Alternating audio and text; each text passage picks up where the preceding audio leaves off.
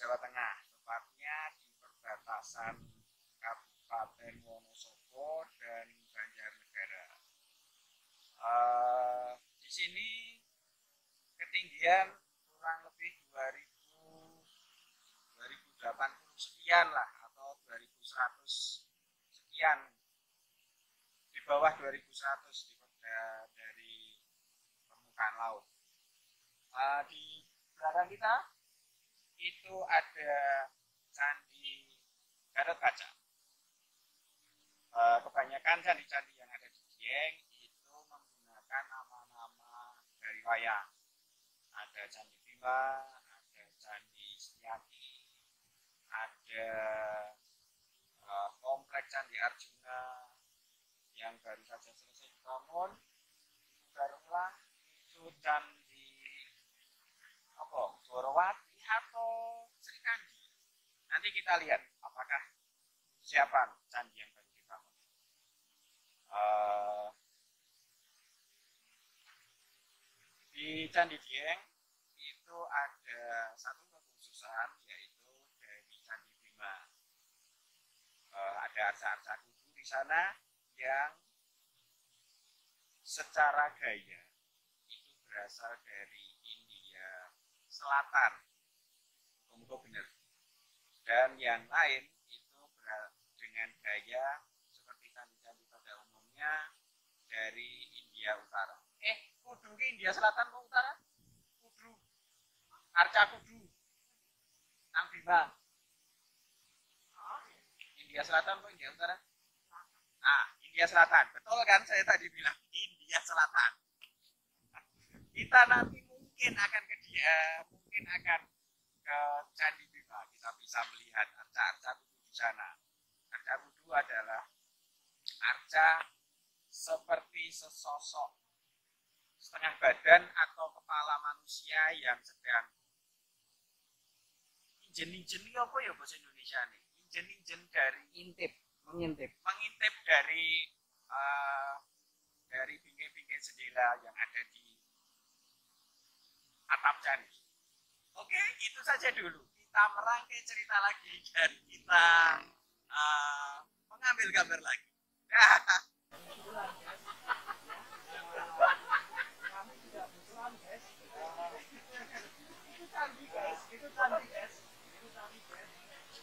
nya banyak guys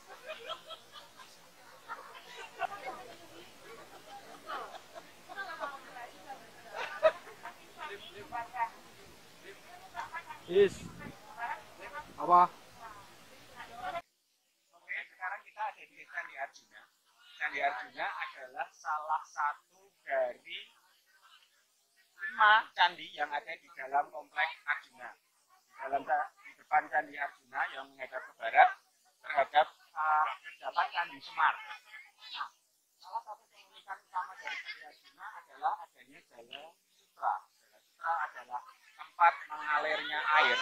Nah, kita tadi kita tadi melihat di sana. Ayo lewat sana aja. Mari guys. Nah, Jala Sutra. Jala Sutra adalah tempat keluarnya. Jala Sutra itu adalah tempat keluarnya air yang ada dari uh, dari yoni yang ada di dalam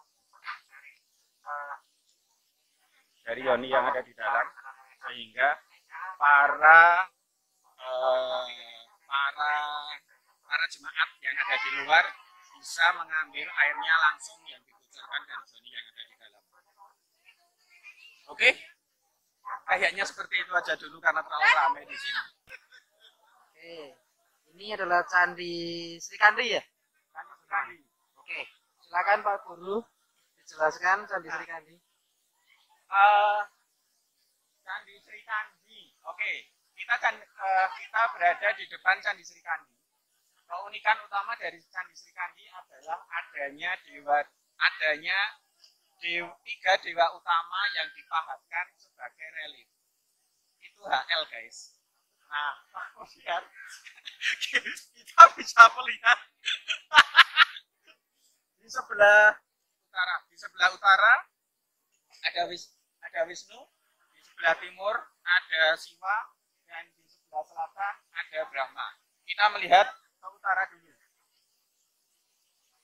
Di sebelah utara itu adalah Wisnu. Oh, ini. Yes. Relief. Nah, itu Wisnu. Itu gambar Wisnu. Dia memegang cakra, kemudian dia memegang uh, kemucing, kemucing ya apa? Camara, maaf. Dia memegang camara dan uh, benda yang lain. Terus ini adalah Siwa.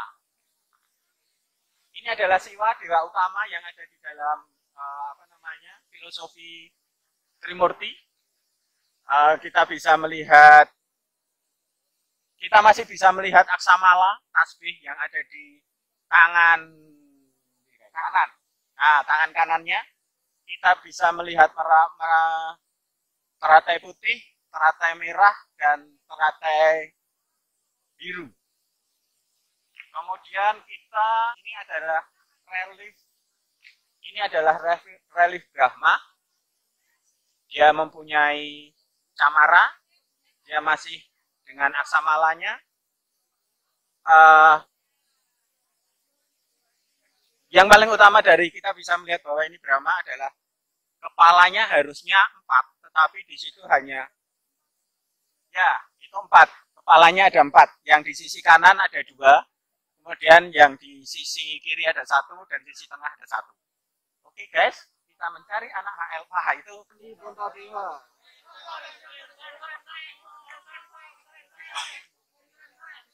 Iki apa ya? Iki apa?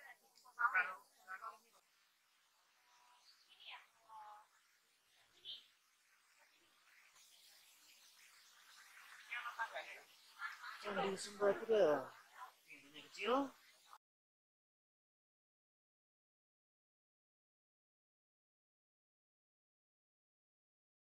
Nah, ada lorong-lorong di atasnya.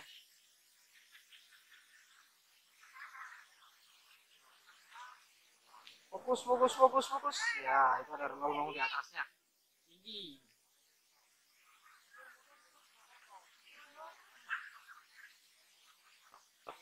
Candi apa ini?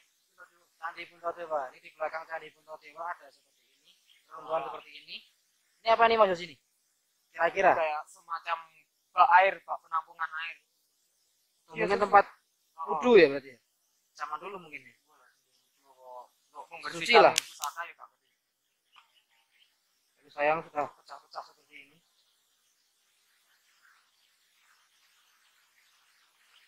Itu ada candi yang sedang dibugar.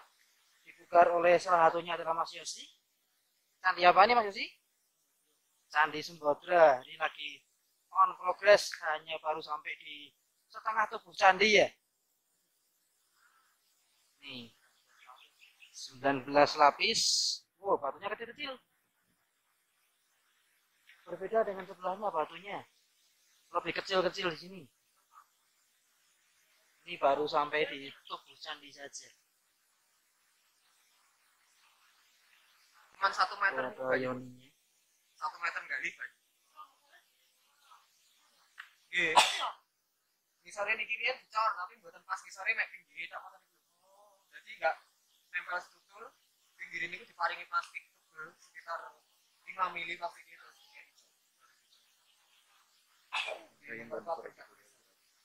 Tapi platnya plastik. Nggih, pakai nang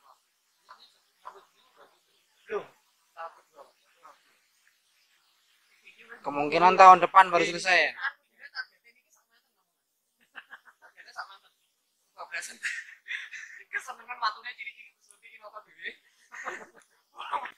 Mana? Katanya ada contoh lem-lem zaman dulu. Mana Mas Yosi? Ini. Menggunakan apa nih? hidrolik mortal campuran bata merah terus gambing kapur karo pasir Oh, campurannya itu. Zaman dulu ini. jadi di candi kan haram semen sing dikantek niku. Boto pasir karo itu nganu? Oh, campuran saiki. lho lek riyen nganu lek riyen lempung tanah lempung. Tanah liat, dulu tanah liat. nah ini kok dibugar zaman biyen lempung terus diperkuat nah iki posisi ini dhisik ning jero Oh ini Yoni ini di bawah berarti.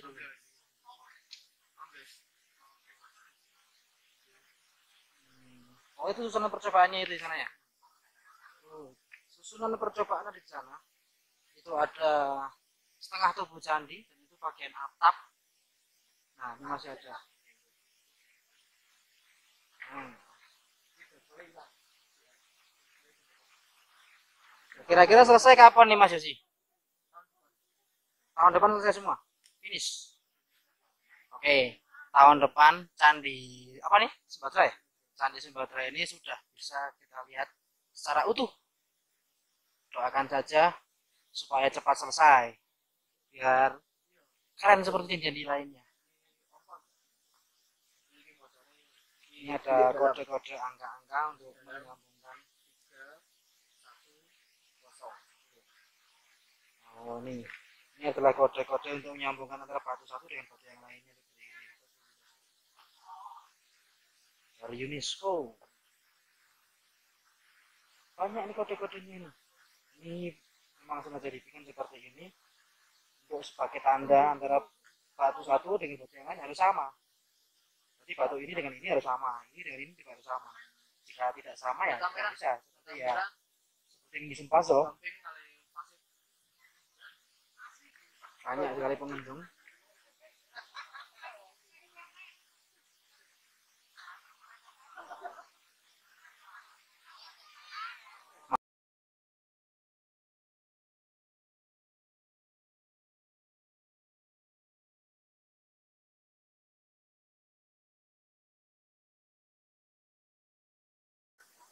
Ini bukan belusuan tapi ini piknik sopir. Apa titit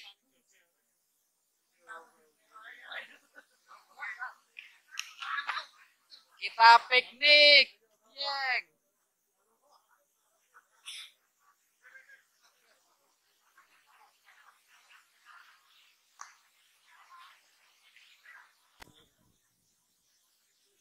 Nah, ini rombongan kandang kebo, ada Bu Maria. Di sini ada si Junior, Pasya, ada Pak Dokter dari Sidoarjo. Nah, ini pembina utama kita, Pak Deminta. Itu ada Kang Tono. Di belakang lagi saya nama, agak malu-malu Kang Tono. Candi Gatot Kaca.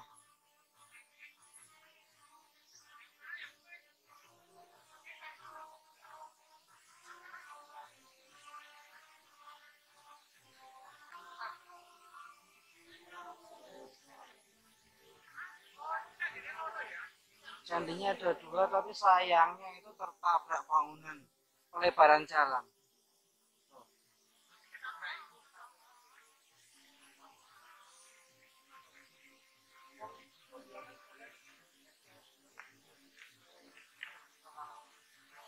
Jadi candinya tertabrak oleh pelebaran jalan ini.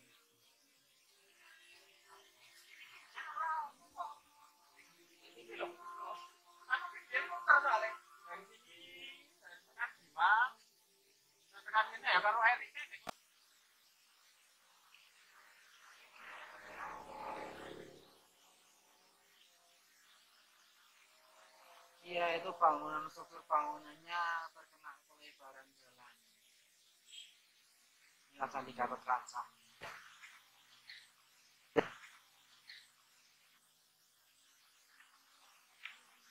Ya kita pulang kita nggak jadi ke Candi Bima. Sudah menjelang maghrib kita akhiri acara belusukan hari ini. Inilah Pak Guru kita